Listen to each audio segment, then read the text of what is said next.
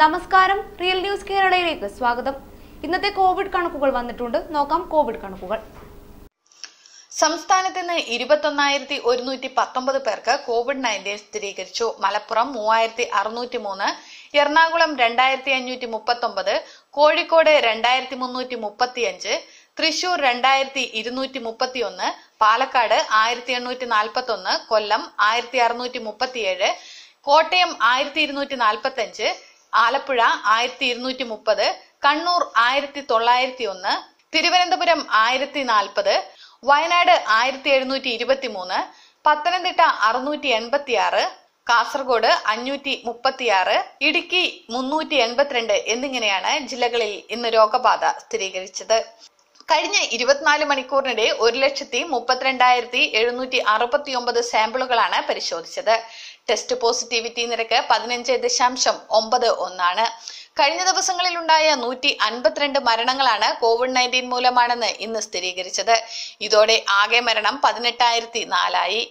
ഇന്ന് രോഗം സ്ഥിരീകരിച്ചവരിൽ നാൽപ്പത് പേർ സംസ്ഥാനത്തിന് പുറത്തുനിന്നും വന്നവരാണ്. ഇരുപതിനായിരത്തി ഇരുപത്തിയേഴ് പേർക്ക് സമ്പർക്കത്തിലൂടെയാണ് രോഗം ബാധിച്ചത്. തൊള്ളായിരത്തി നാൽപ്പത്തി ഒന്ന് പേരുടെ സമ്പർക്ക ഉറവിടം വ്യക്തമല്ല. നൂറ്റി പതിനൊന്ന് ആരോഗ്യ പ്രവർത്തകർക്കും ഇന്ന് രോഗം ബാധിച്ചിട്ടുണ്ട്. രോഗം സ്ഥിരീകരിച്ച ചികിത്സയിലായിരുന്ന പതിനെട്ടായിരത്തി നാനൂറ്റി തൊണ്ണൂറ്റി മൂന്ന് പേർ രോഗമുക്തി നേടി. ഇതോടെ ഒരു ലക്ഷത്തി എഴുപത്തി ഒന്നായിരത്തി തൊള്ളായിരത്തി എൺപത്തി അഞ്ച് പേരാണ് രോഗം സ്ഥിരീകരിച്ച് ഇനി ചികിത്സയിലുള്ളത്. മുപ്പത്തിമൂന്ന് ലക്ഷത്തി തൊണ്ണൂറ്റാറായിരത്തി ഒരുന്നൂറ്റി എൺപത്തിനാല് പേർ ഇതുവരെ കോവിഡിൽ നിന്നും മുക്തി നേടിയിട്ടുണ്ട്. സംസ്ഥാനത്തെ വിവിധ ജില്ലയിലായി നാല് ലക്ഷത്തി എൺപത്തിരണ്ടായിരത്തി ഇരുന്നൂറ്റി തൊണ്ണൂറ് പേരാണ് ഇപ്പോൾ നിരീക്ഷണത്തിലുള്ളത്. ഇവരിൽ ഇരുപത്തെട്ടായിരത്തി എഴുന്നൂറ്റി അൻപത് പേർ ആശുപത്രിയിലും നിരീക്ഷണത്തിലാണ്. രണ്ടായിരത്തി ഒരുന്നൂറ്റി ഒന്ന് പേരെയാണ് പുതിയതായി ആശുപത്രിയിൽ പ്രവേശിപ്പിച്ചത്.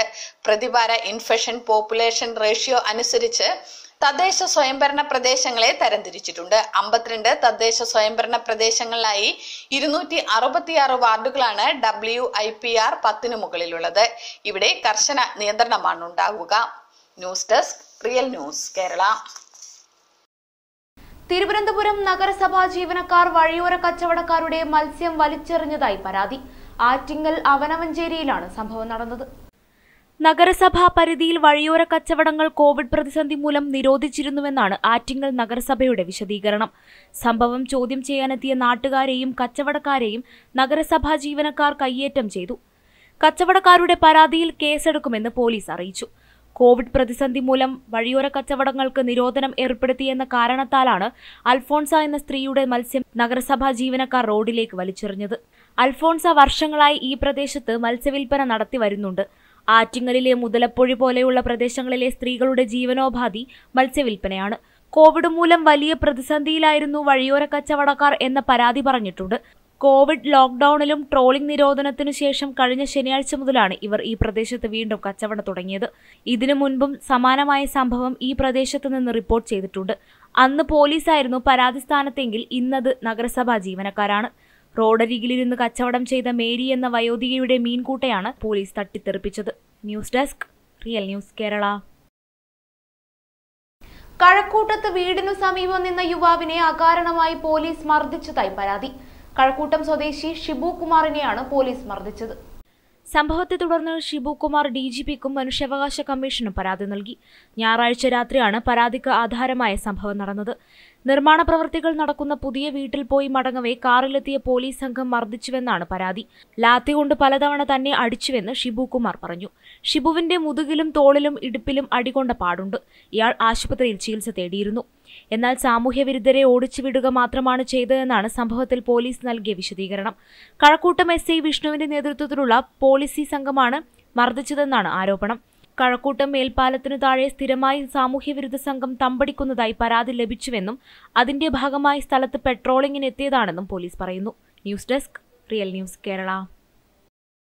Tokyo Olympics വെങ്കല മെഡൽ ജേതാവ് പി ആർ ശ്രീജേഷിന് അർഹിക്കുന്ന അംഗീകാരം നൽകാൻ സംസ്ഥാന സർക്കാർ എന്തിനാണ് ഭയക്കുന്നതെന്ന് ഒളിമ്പ്യൻ അഞ്ജു ബോബി ജോർജ്.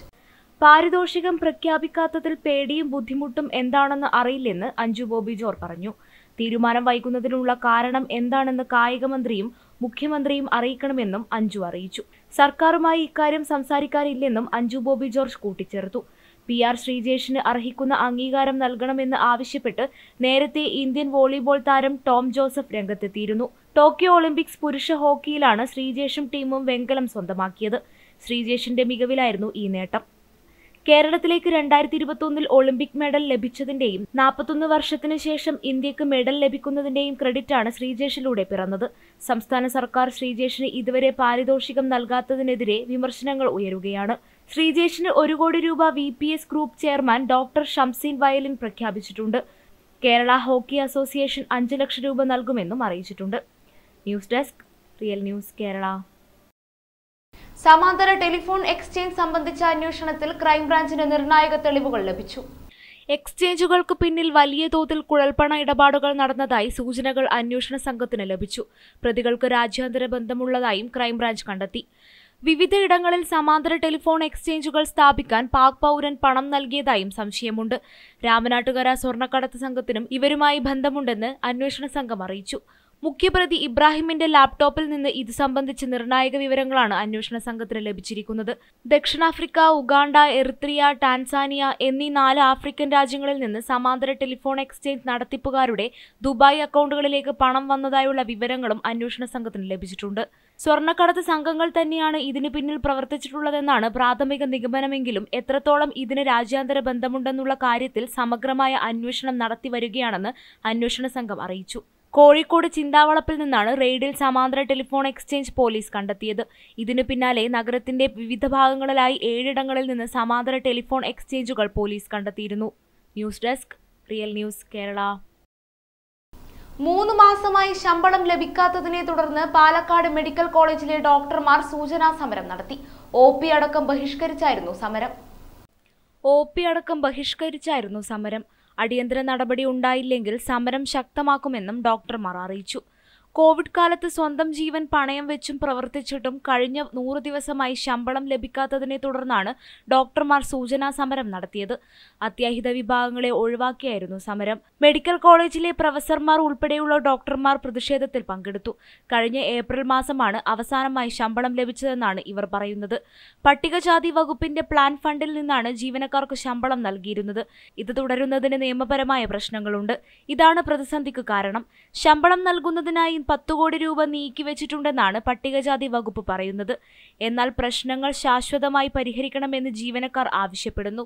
കുടിശ്ശിക അടക്കമുള്ള ശമ്പളം ഉടൻ നൽകിയില്ലെങ്കിൽ മെഡിക്കൽ കോളേജിലെ എല്ലാ വകുപ്പിലെയും മുഴുവൻ ജീവനക്കാരെയും പങ്കെടുപ്പിച്ച് അനിശ്ചിതകാല സമരം നടത്താനാണ് ഡോക്ടർമാരുടെ തീരുമാനം.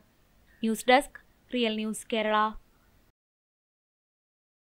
Kalady Shri Shankaracharya സംസ്കൃത സർവകലാശാലയിലെ ഉത്തരക്കടലാസ് കാണാതായ സംഭവത്തിൽ നുണപരിശോധനയ്ക്ക് സമ്മതപത്രം നൽകാതെ ജീവനക്കാർ. കാലടി ശ്രീ ശങ്കരാചാര്യ സംസ്കൃത സർവകലാശാലയിലെ ഉത്തരകടലാസ് കാണാതായ സംഭവത്തിൽ നുണപരിശോധനയ്ക്ക് സമ്മതപത്രം നൽകാതെ ജീവനക്കാർ. കോടതിയെ സമീപിക്കുമെന്ന് അന്വേഷണ സംഘം. പരീക്ഷാ വിഭാഗത്തിലെ നാല് ജീവനക്കാരും നുണപരിശോധനയ്ക്ക് ഇതുവരെ സമ്മതപത്രം നൽകിയിട്ടില്ല. ജീവനക്കാർ നൽകിയ മൊഴികളിലും വൈരുദ്ധ്യമുണ്ട്. ജീവനക്കാരുടെ ഈ നടപടിയിൽ കോടതിയെ സമീപിക്കുമെന്ന് അന്വേഷണ സംഘം വ്യക്തമാക്കി. ഉത്തരക്കടലാസുകൾ കാണാതായതിനു പിന്നിൽ വൻ ഗൂഢാലോചന നടന്നിട്ടുണ്ടെന്ന നിഗമനത്തിലാണ് അന്വേഷണ സംഘം. അധ്യാപകർ തമ്മിലുള്ള വ്യക്തിവിരോധമാണ് മോഷണത്തിലേക്ക് നയിച്ചതെന്നും ഉത്തരകടലാസ് മാറ്റിയത് അധ്യാപകരുടെ നിർദ്ദേശപ്രകാരമെന്നാണ് സൂചനയെന്നും പോലീസ് പറയുന്നു. അന്വേഷണത്തിന്റെ ഭാഗമായി സർവകലാശാല ജീവനക്കാർ നുണപരിശോധനയ്ക്ക് വിധേയരാകണമെന്നായിരുന്നു അന്വേഷണ സംഘത്തിന്റെ നിർദ്ദേശം. News desk real news Kerala. Thiruvananthapuram consulate സ്വർണക്കടത്ത് കേസിൽ യു എ കോൺസുൽ ജനറൽ നേരിട്ട് കള്ളക്കടത്ത് നടത്തിയെന്ന് കസ്റ്റംസ്. തിരുവനന്തപുരം കോൺസുലേറ്റ് സ്വർണക്കടത്ത് കേസിൽ U A E consul general നേരിട്ട് കള്ളക്കടത്ത് നടത്തിയെന്ന് കസ്റ്റംസ്. സ്വപ്ന സുരേഷിന് നൽകിയ ഷോക്കേസ് നോട്ടീസിലാണ് പരാമർശം. U A E consul general നേരിട്ട് സ്വർണം എത്തിച്ചത് മൂന്ന് തവണയെന്ന് കസ്റ്റംസിന്റെ കണ്ടെത്തൽ. Egypt Morocco U A E സ്വദേശികളായ വനിതകളെ ഉപയോഗിച്ചാണ് സ്വർണം എത്തിച്ചത്. വിദേശ വനിതകളെ കോൺസുലേറ്റിൽ സുരക്ഷിതമായി താമസിച്ചിരുന്നുവെന്നും കണ്ടെത്തി. കോൺസുലേറ്റ് ജീവനക്കാർ വിദേശത്തേക്ക് പോകുമ്പോഴെല്ലാം കറൻസി കടത്ത് നടത്തിയിട്ടുണ്ടെന്നും കസ്റ്റംസ് കണ്ടെത്തി. നയതന്ത്ര പരിരക്ഷയുടെ മറവിലാണ് കള്ളക്കടത്ത് നടത്തിയതെന്നും നോട്ടീസിൽ പറയുന്നു. പ്രതികളുടെ രഹസ്യമൊഴി ഉദ്ധരിച്ചാണ് കസ്റ്റംസിന്റെ പരാമർശങ്ങൾ. News desk real news Kerala. അട്ടപ്പാടിയിൽ ആദിവാസികളെ പോലീസ് ഭീകരാന്തരീക്ഷം സൃഷ്ടിച്ച് പിടികൂടിയ സംഭവത്തിൽ അടിയന്തര നോട്ടീസിന് മറുപടിയുമായി മുഖ്യമന്ത്രി പിണറായി വിജയൻ. നീതി നിർവഹണം നടത്താനാണ് പോലീസ് ഊരിലേക്ക് പോയതെന്ന് മുഖ്യമന്ത്രി വ്യക്തമാക്കി. ഊരുമൂപ്പനും മകനും അയൽവാസിയായ കുറന്തച്ചാലത്തിനെ പരിക്കേൽപ്പിച്ചു. കുറ്റകൃത്യം നടന്നെന്ന പരാതിയിൽ തുടർന്നാണ് പോലീസ് സ്ഥലത്തെത്തിയത്. ക്രമസമാധാനം ഉറപ്പാക്കാനുള്ള നടപടിയാണ് പോലീസിന്റെ ഭാഗത്തുനിന്നും ഉണ്ടായത് നീതി നിർവഹണം നടത്താനാണ് പോലീസ് ശ്രമിച്ചതെന്ന് മുഖ്യമന്ത്രി അടിയന്തര നോട്ടീസിന് മറുപടി നൽകി. അട്ടപ്പാടിയിൽ ആദിവാസികളെ പോലീസ് ഭീകരാന്തരീക്ഷം സൃഷ്ടിച്ച് പിടികൂടിയതായി പരാതി ഉയർന്നിരുന്നു. ഷോളയൂർ വട്ടലക്കി ഊരുമൂപ്പൻ ചൊറിയൻ മൂപ്പനെയും മകൻ മുരുകനെയുമാണ് പോലീസ് പിടികൂടിയത്. കുടുംബതർക്കവുമായി ബന്ധപ്പെട്ട പരാതിയിലാണ് പോലീസിന്റെ നടപടി. മുരുകന്റെ പതിനേഴുകാരനായ മകന്റെ മുഖത്ത് പോലീസ് ഉദ്യോഗസ്ഥൻ അടിച്ചതായും സ്ത്രീകളെ ഉൾപ്പെടെ പോലീസ് ഉപദ്രവിച്ചതായും പരാതിയിൽ ആരോപിക്കുന്നു. സംഭവത്തിൽ ആദിവാസി സംഘടനകൾ അട്ടപ്പാടി ഷോളയൂർ പോലീസ് സ്റ്റേഷന് മുൻപിൽ പ്രതിഷേധം നടത്തിയിരുന്നു. News desk real news Kerala. E bull jet വാഹനത്തിനെതിരെ ശക്തമായ നടപടിയെടുത്ത് മോട്ടോർ വാഹന വകുപ്പ് വാഹനത്തിന്റെ രജിസ്ട്രേഷൻ റദ്ദു ചെയ്യും. വാഹനത്തിന്റെ രജിസ്ട്രേഷൻ റദ്ദു ചെയ്യും. ചട്ടം ലംഘിച്ച് വാഹനം ഓടിച്ച ഡ്രൈവറുടെ ലൈസൻസ് റദ്ദു ചെയ്യാനും തീരുമാനമായി. Transport commission A D G P M R Ajith കുമാറാണ് നടപടിക്ക് നിർദ്ദേശം നൽകിയത്. ഈ ബുൾജറ്റ് വാഹനത്തിൽ കണ്ടെത്തിയത് കടുത്ത നിയമലംഘനങ്ങളാണെന്ന് മോട്ടോർ വെഹിക്കിൾ ഇൻസ്പെക്ടർ പത്മലാൽ പറഞ്ഞു. തെറ്റുകൾ തിരുത്താൻ ഈ ചെല്ലാൻ വഴി സമയം കൊടുത്തിരുന്നുവെന്നും പത്മലാൽ പറഞ്ഞു. വാഹനത്തിന്റെ നിറം മാറ്റിയത് ഹൈക്കോടതി വിധിയുടെ ലംഘനമാണ്. ആഡംബര നികുതിയിൽ വന്ന വ്യത്യാസം ഈ ബുൾജറ്റ് സഹോദരങ്ങളെ ബോധ്യപ്പെടുത്തിയിരുന്നു. വാഹനത്തിന് ബോഡിക്ക് പുറത്ത് തള്ളി നിൽക്കുന്ന പാർട്സ് പാടില്ല എന്നാണ് നിയമം. എന്നാൽ ഈ നിയമവും ഈ ബുൾജറ്റ് ലംഘിച്ചിട്ടുണ്ട്. അംഗീകൃത വാഹനങ്ങളിൽ മാത്രമേ സെർച്ച് ലൈറ്റ് പാടുള്ളൂ. പക്ഷേ വാഹനത്തിൽ അതും കണ്ടെത്തിയിട്ടുണ്ടെന്ന് എം വി ഐ പത്മലാൽ ചൂണ്ടിക്കാട്ടി. ഫോളോവേഴ്സ് ഉണ്ടായാലും നിയമലംഘനം അനുവദിക്കാൻ ആകില്ലെന്നും ഈ ബുൾജറ്റിനെതിരെ കർശന നടപടികളുമായി മുന്നോട്ടു പോകുമെന്നും അദ്ദേഹം വ്യക്തമാക്കി. ഓൾട്ടർനേഷനുകളെല്ലാം മാറ്റി വന്നില്ലെങ്കിൽ ആർ സി റദ്ദാക്കുന്നതടക്കം നടപടികളിലേക്ക് പോകേണ്ടി വരുമെന്നും അദ്ദേഹം അറിയിച്ചു. ഇന്നലെയാണ് വ്ളോഗർമാരായ ഈ ബുൾജറ്റ് സഹോദരങ്ങളെ പോലീസ് കസ്റ്റഡിയിലെടുത്തത്.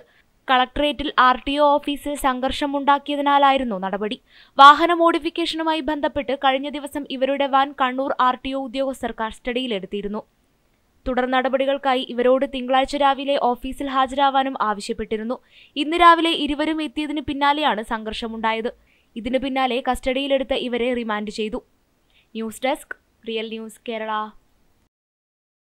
അട്ടപ്പാടിയിൽ ആദിവാസികളെ പോലീസ് ഭീകരാന്തരീക്ഷം സൃഷ്ടിച്ച പിടികൂടിയ സംഭവത്തിൽ പോലീസിനെ രൂക്ഷമായി വിമർശിച്ച് പ്രതിപക്ഷം.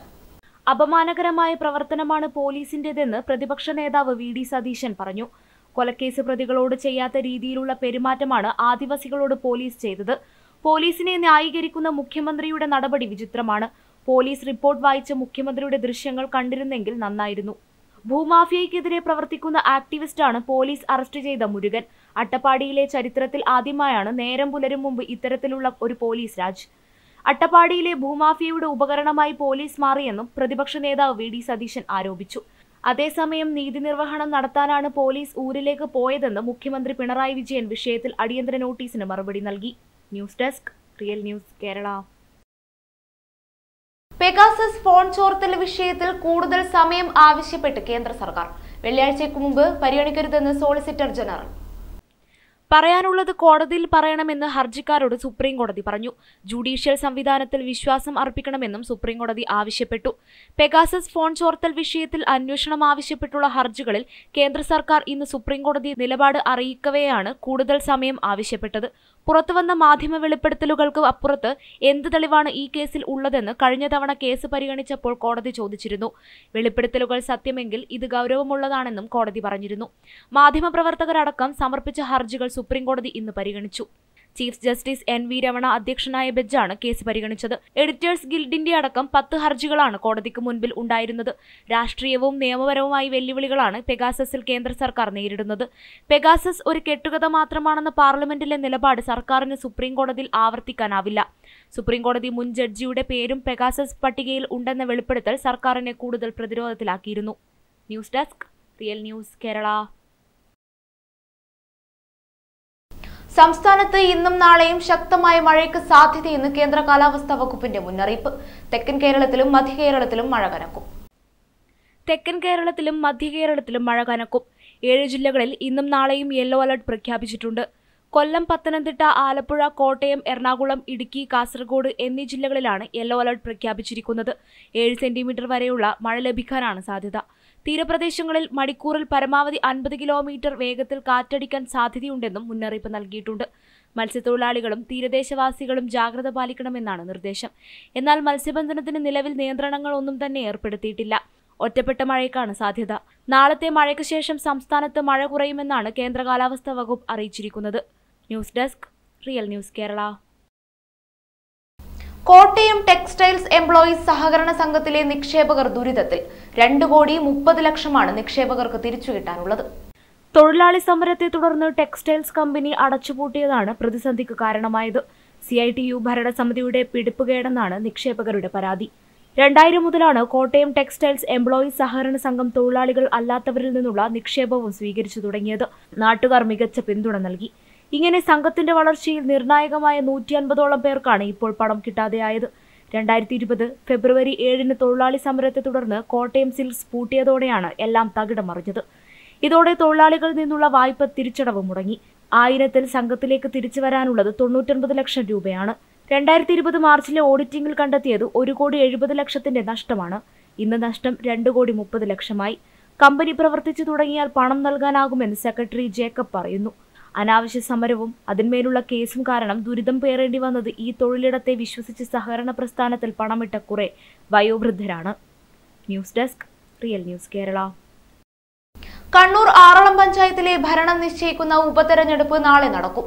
ഒരു സീറ്റിന്റെ ഭൂരിപക്ഷത്തിൽ എൽ ഡി എഫ് ഭരിക്കുന്ന പഞ്ചായത്തിൽ എൽ ഡി എഫ് അംഗം മരിച്ചതിനെ തുടർന്നുള്ള തിരഞ്ഞെടുപ്പാണ് നടക്കുന്നത്.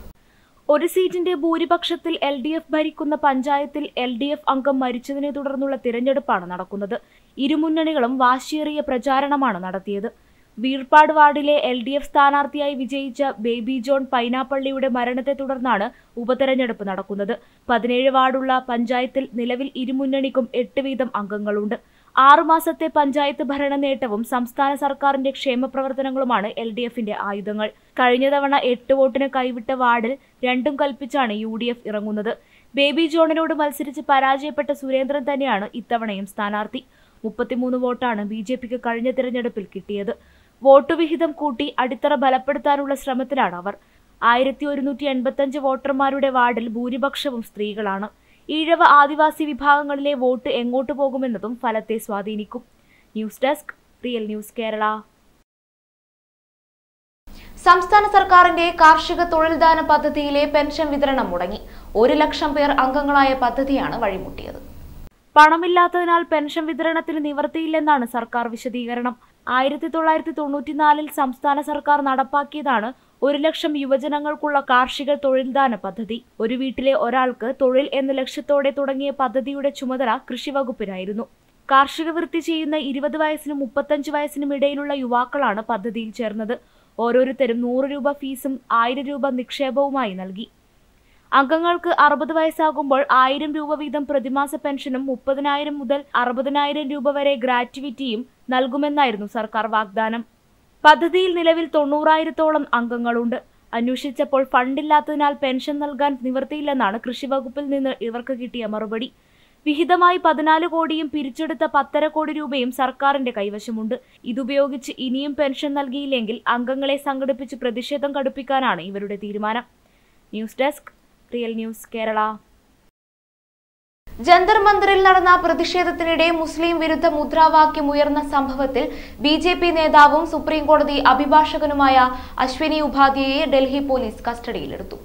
ബ്രിട്ടീഷ് കാലത്തെ നിയമങ്ങൾ റദ്ദാക്കി രാജ്യത്ത് ഏകീകൃത നിയമം നടപ്പാക്കണമെന്ന് ആവശ്യപ്പെട്ട് ദില്ലിയിലെ ജന്തർ മന്ദിറിൽ നടന്ന പ്രകടനത്തിൽ പ്രകോപന മുദ്രാവാക്യം മുഴക്കിയ കേസിലാണ് അറസ്റ്റ്.